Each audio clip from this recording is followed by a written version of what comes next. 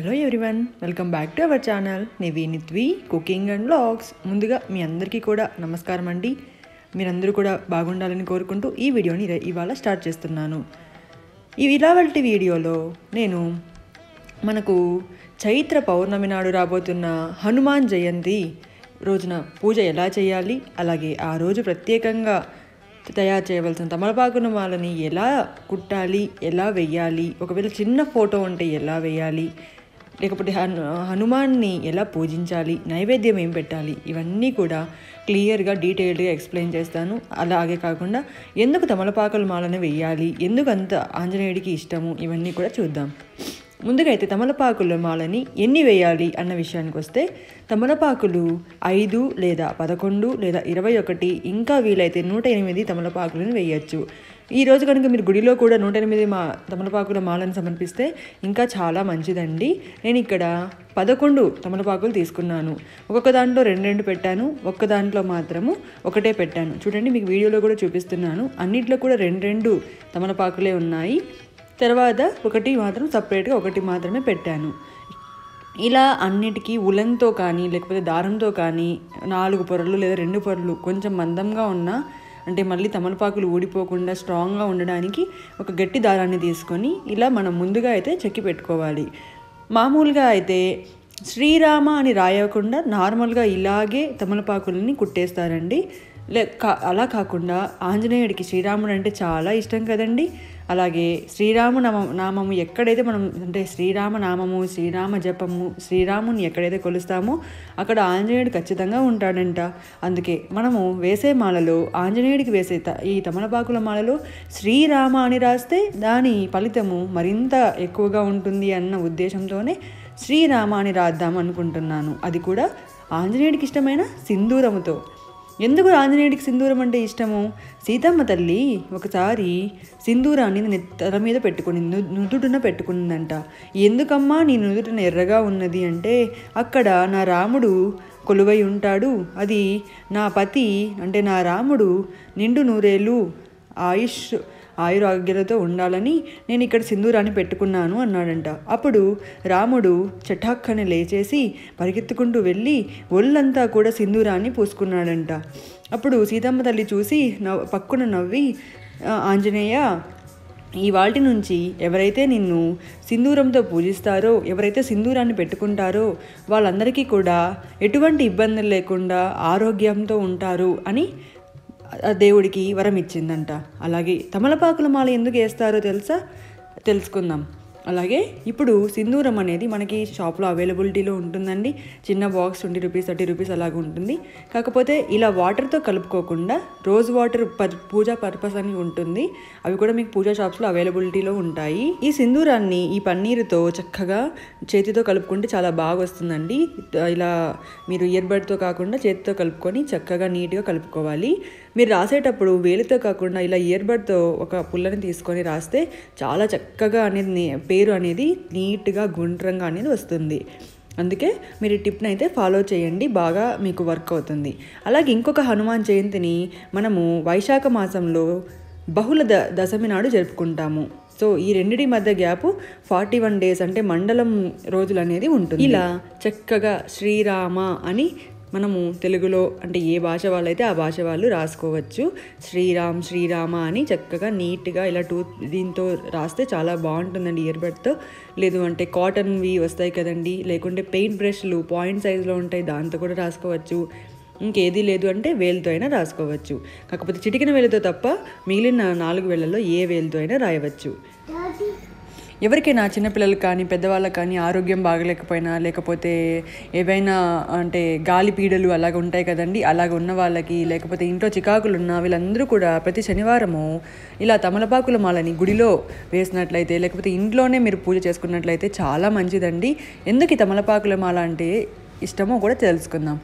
ఒకనాడు సీతాదేవి రామయ్యకి చిలుకలు అందిస్తుండగా అప్పుడు అక్కడికి ఆంజనేయ స్వామి ప్రత్యక్షమయ్యాడు. అప్పుడు ఏంటి స్వామి నీ నోరంతా ఎర్రగా పండిపోయింది ఏమైంది నీకు? అని అడుగుతాడనమాట అప్పుడు రామయ్య అంటాడు లేదు ఇది చిలుకలు తాంబూలం అనమాట ఇందులో సుగంధ ద్రవ్యాలు అలాగే మంచి వనమూలికలు అన్నీ వేస్తారు కాబట్టి ఆరోగ్యానికి చాలా మేలు. అందుకే నా నోరు చాలా ఎర్రగా పండింది. ఇదంటే కూడా నాకు చాలా ఇష్టము. ది అలాగే దీనిని ఎవరైతే నాకు సమర్పిస్తారో వాళ్ళు అష్ట ఐశ్వర్యాలు చేకూరుతాయి అని చెప్పాడు.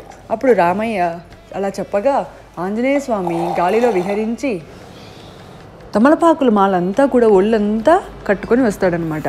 అప్పుడు సీతాదేవి మరియు రామయ్య ఆహా నవ్వి పక్కన నవ్వి రా అంజన అంజన్న ఈ వాటి నుంచి ఎవరైతే నిన్ను తమలపాకులతో మాల కుట్టి నీకు వేస్తారో వాళ్ళందరికీ ఉన్న గ్రహపీడలు కానీ శని దోషాలు కానీ అలాగే ఆరోగ్యాలు కానీ అన్నీ కూడా మెరుగుపడతాయని ఎటువంటి దోషాలు కానీ ఎటువంటి పీడలు కానీ లేకుండా వాళ్ళకి అష్ట ఐశ్వర్యాలు చేకూరుతాయని వాళ్ళు చాలా బలవంతులుగా అవుతారు అని వరం ఇచ్చాడనమాట ఆ రోజు ఆ రోజు నుంచి మన పెద్దవాళ్ళు కానివ్వండి ఋషులు కానివ్వండి ఇలా ఆంజన్న స్వామిని ప్రసాద్ అంటే అతని వరాన్ని మనం పొందాలి అతన్ని మనం ఆ స్వామివారి కటాక్షాలు మనకు పొందాలి అనుకుంటే తమలపాకులతో ఇలా మాల వేయడం వల్ల చాలా మంచిది. కాకపోతే ఇలా శ్రీరామ అని వేయడం వల్ల శ్రీరాముడితో పాటు ఆంజనేయ స్వామి కృపా కటాక్షాలు కూడా ఉంటాయి. అంటే ఫలాలే అండి. సింపుల్ స్వామికి మనం కరుణా కటాక్షాలు పొందాలి అనుకుంటే స్వామిని ఇంప్రెస్ చేయాలి అనుకుంటే ఒక్క మాటలో మంచిగా మామిడి పళ్ళు అలాగే ఈ సీజన్లో ఖచ్చితంగా అయితే దొరుకుతాయి. అలాగే అరటిపళ్ళు.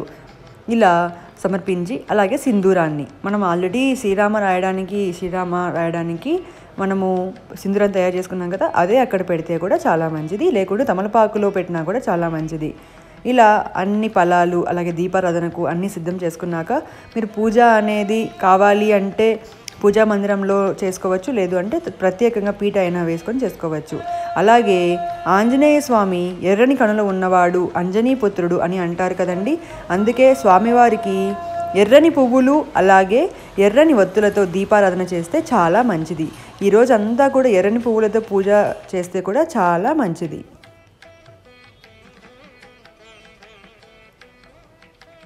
అలాగే నూనె విషయానికి వస్తే మనము ఏదైనా శని దోషాలు అలాగా లేకపోతే ఇంట్లో గ్రహపీడలు లేకుంటే ఇంట్లో సరిగ్గా బాగలేదు అనారోగ్యము అలాగుంది అనుకుంటే నువ్వుల నూనెతో దీపారాధన చేస్తే చాలా మంచిది. లేదు అనుకుంటే మామూలు దీపం ఆయిల్ ఉంటుంది కదండి దాంతో అయినా చేసుకోవచ్చు. అలాగే దీపము మనము దీపారాధన చేసుకోవడానికి అగరబత్తులతో కానీ ఏకహారతితో కానీ మాత్రమే దీపారాధన చేసుకోవాలి.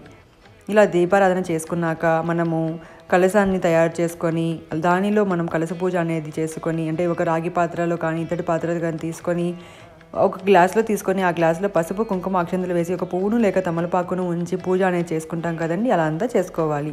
అలాగే ఈరోజు కనుక హనుమాన్ చాలీసా అంటే ఈ రోజు నుంచి నలభై ఒక్క రోజులు మళ్ళీ వచ్చే హనుమాన్ జయంతి పెద్ద హనుమాన్ జయంతి వరకు ప్రతిరోజు కూడా నలభై ఒక్క రోజులు హనుమాన్ జయంతిని ఎవరైతే చదివి ఇలా మామిడి పళ్ళని అలాగే అరటి పళ్ళని స్వామికి నివేదించి అది మనం మళ్ళీ ప్రసాదంగా స్వీకరిస్తామో.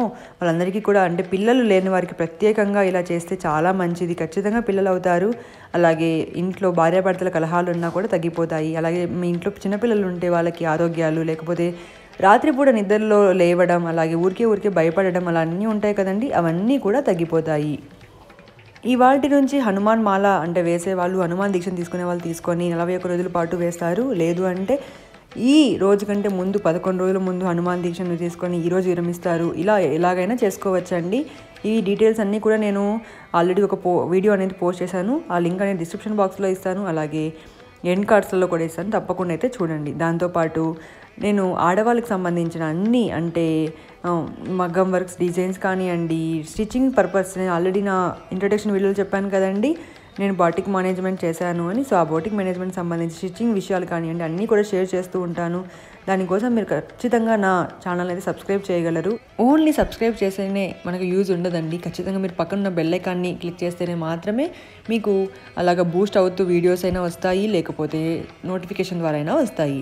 అలాగే మరిన్ని విషయాల కోసం అలాగే దే డివోషనల్ వీడియోస్ కానివ్వండి పూజా విషయాలు కానివ్వండి చిన్నపిల్లల విషయాలు కానివ్వండి ఇలా ఆల్రౌండ్ అనే అనే ఛానల్గా నేను నా ఛానల్ అనేది మీకు అందిస్తున్నాను. సో ఈ వీడియో కూడా మీకు నచ్చినట్లయితే లైక్ చేయండి షేర్ చేయండి అలాగే సబ్స్క్రైబ్ చేయడం మాత్రం మర్చిపోకండి.